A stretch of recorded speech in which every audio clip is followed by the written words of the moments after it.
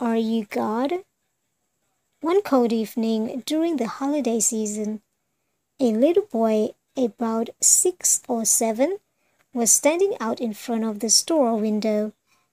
The little child had no shoes and his clothes were mere rags. A young woman passing by saw the little boy and could read the longing in his pale blue eyes. She took the child by the hand and led him into the store.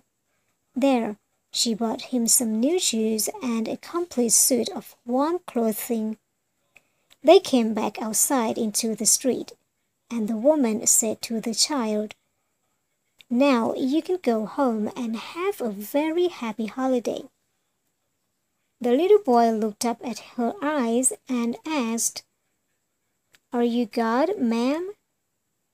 She smiled down at him and replied, No, son, I'm just one of his children.